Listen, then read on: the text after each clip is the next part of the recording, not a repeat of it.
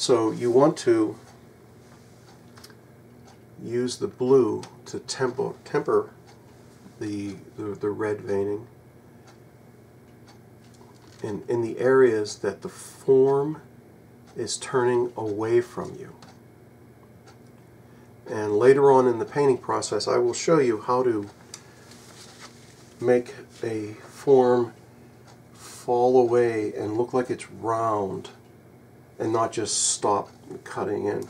Because in nature, the, the there are no edges on on like the surface of a face. The face doesn't stop; it continues around, and there are certain techniques that you can use to achieve that look of the form falling away and wrapping around.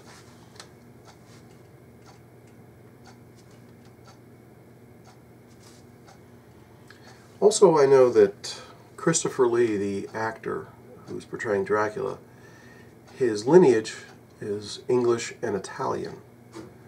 So that also will influence his skin tone because unlike the like today, they didn't the the men didn't wear heavy heavy makeup, and you can often see in these films um, his five o'clock shadow uh, and how his skin had a almost olive tone to it, almost a Mediterranean olive tone to it.